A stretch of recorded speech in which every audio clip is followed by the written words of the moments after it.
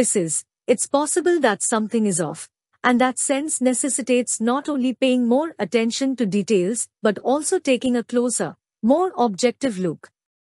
To listen to your inner voice, try turning your attention away from your anxieties. Trust it if it gives you a warning about something or someone, and heed its request to take a short break from your current course of action. All things should be given a fair shot, but keep an eye out for the universe's warning signs. Lucky number 3. Baby pink is a lucky hue.